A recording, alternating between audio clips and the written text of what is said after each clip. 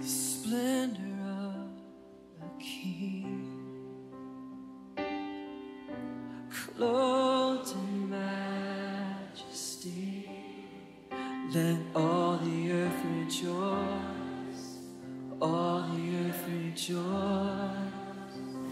See wraps Are we ready over there, David? Hill, you ready? Imagine him with two more in his hands right there. You wanna come on this side? Yeah. Big brother, yeah.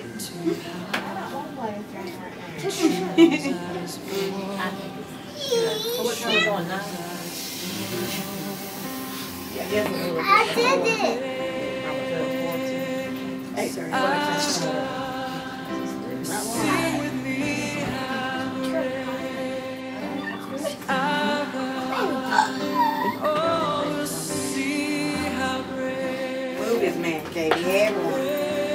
You might as well be through.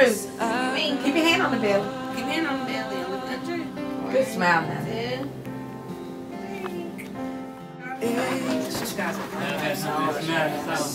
What's it?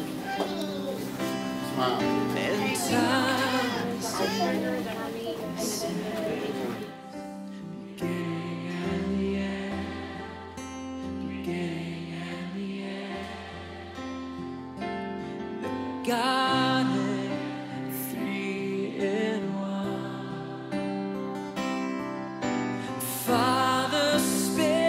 Hey Kit and the family, Hilton, we're so proud of y'all. We have been through this since 19 weeks, and you know, in case you ever forget me, I'm Lisa, one of the nurses here on the Antenatal who has took care of you for a long time, and we're going to miss you, and we wish you the very best.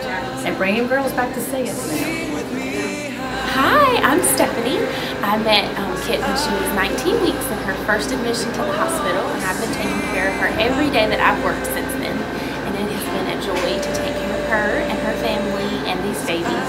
And today is bittersweet. We look forward to meeting them and um, helping her through this process. And I have really enjoyed getting to know you and everybody, and I look forward to today and all of the joys that the future has to hold. I'll miss you guys.